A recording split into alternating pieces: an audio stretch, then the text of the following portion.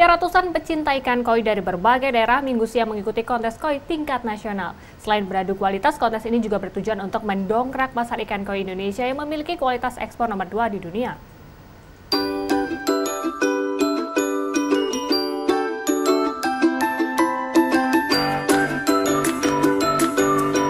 Para pecinta ikan koi dari berbagai daerah ini antusias mengikuti kontes ikan koi tingkat nasional di salah satu hotel di Kabupaten Banyuwangi.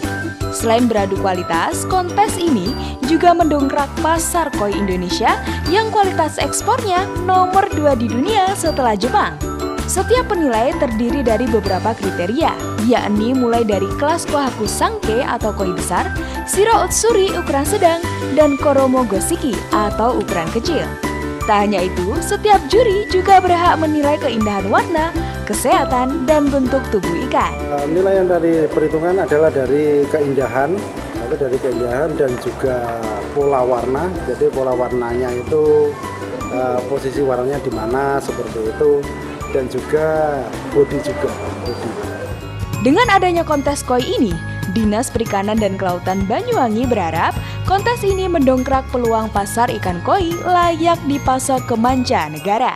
Sehingga ke depannya dengan adanya berita ini itu tidak serta merta uh, di, di, dijual di sini tidak, tapi langsung ekspos dengan standarisasi internasional ini menjadi komoditas pembeli di tingkat internasional.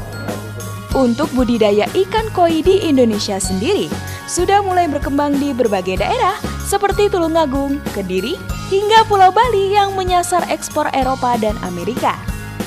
Cofi Zamani, Banyuwangi